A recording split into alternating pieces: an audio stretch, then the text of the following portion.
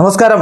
Raf ടോക്കിന്റെ La Liga ടോക്കിലേക്ക് ഏവർക്കും സ്വാഗതം. ലാലിഗയിൽ ഇന്നാണ് നമ്മൾ കാത്തിരുന്ന മത്സരം. അത്ലറ്റിക്കോ മാഡ്രിഡും എഫ് സി ബാഴ്സലോണയും തമ്മിൽ അത്ലറ്റിക്കോ മാഡ്രിഡിന്റെ മൈതാനമായ വന്ത മെട്രോപൊളിറ്റനോയിൽ ഇന്ന് രാത്രി ഏറ്റുമുട്ടുകയാണ്. ഇന്ന് രാത്രി ഇന്ത്യൻ സമയം ഒന്ന് മുപ്പതിനാണ് ഈ മത്സരം നടക്കുന്നത്.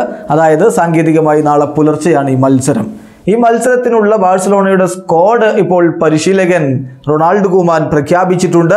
പരിക്കേറ്റ സെർജിയോ ബുസ്കിറ്റസ് ഈ ഒരു ടീമിലില്ല. ബാക്കി എല്ലാ സൂപ്പർ താരങ്ങളും ടീമിലുണ്ട്. ലണൽ മെസ്സിയും ആൻഡോയിൻ ഗ്രീസ്മാനും ഒക്കെ ടീമിലുണ്ട്. ഫിലിപ്പെ കുട്ടിഞ്ഞോ മടങ്ങിയെത്തിയിട്ടുണ്ട്. തീർച്ചയായിട്ടും അത് ബാഴ്സലോണക്ക് ഗുണകരമായ ഒരു കാര്യം തന്നെയാണ്. ബാഴ്സയുടെ ഈ മത്സരത്തിന് വേണ്ടിയുള്ള സ്കോഡിലേക്ക് നമുക്കൊന്ന് പോകാം. Marc Andre ter Stegen Sergino Dest Gerard Pique Alena Griezmann Pjanic Martin Braithwaite Lionel Messi Ousmane Dembele Riqui Puig Neto Coutinho Lenglet Pedri Trincao Jordi Alba Sergi Roberto Frenkie de Jong Junior ഫിപ്പോ Mingueza Arnau Tenas. ഇതാണിപ്പോൾ Ronald Koeman പ്രഖ്യാപിച്ചിരിക്കുന്ന squad കടുത്ത പോരാട്ടം ആരാധകർ പ്രതീക്ഷിക്കുന്നു.